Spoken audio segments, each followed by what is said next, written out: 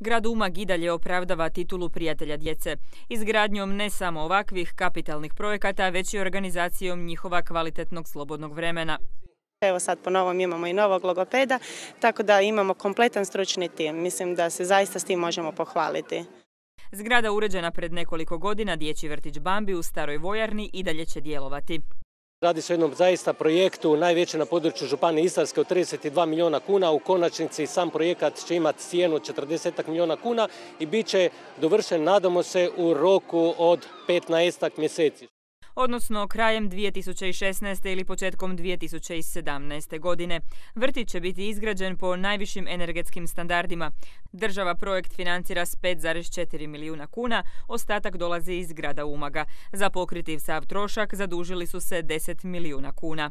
Mi smo prije godinu dana cijenu vrtičkih, cijenu učešća roditelja u koštanju vrtičkih skupina smanjili sa 650 kuna na 600 kuna, upravo e, iz razloga da našim roditeljima omogućimo i olakšamo svakodnevicu.